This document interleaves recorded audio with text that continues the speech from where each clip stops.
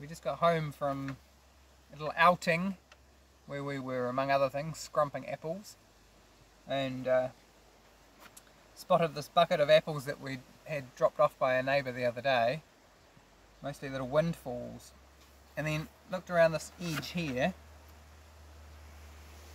and there's a little ring of poops and some of them are clearly bird poops and some of them look a little bit more like I suspect that one there looks a bit more like a rat poo I'm not sure but they're really interesting because they're all full of different tiny little types of seeds.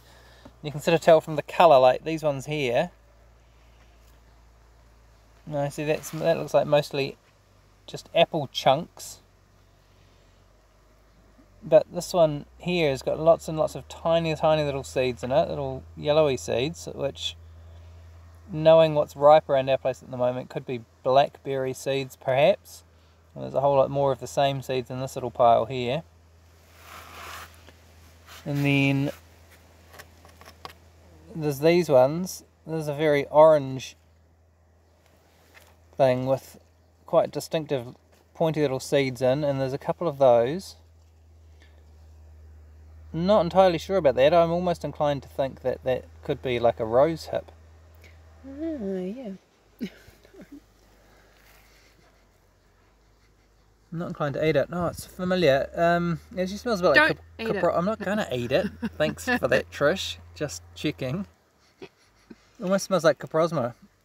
I wonder if that's if um, it was a coprosma too. that could be a type of. It doesn't really look a lot like a coprosma seed though. That's all. Yeah. And then there's also this po- poop here, which has got lots of these tiny little shiny black seeds in it. Which I'm not entirely sure about those ones. Possibly Pittosporum, but I don't know if birds eat Pittosporum seeds. Can't say I've really seen that before.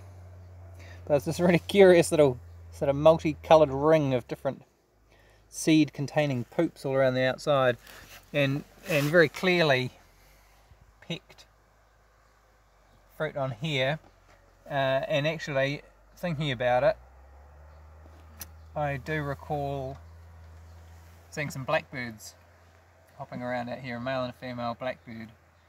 So I suspect they could be responsible but how interesting all of these there's another little poop that's full of hey full of teeny little shiny black seeds. Uh, Pippi wants my wants my bone pointer. And here's another one on this shell over here. If I can just point to that. Here's my dog pointer. It's got the same tiny little black seeds on there as well. Oh, well, there it goes.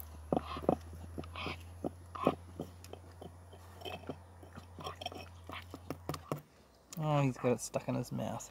Come here. Come here.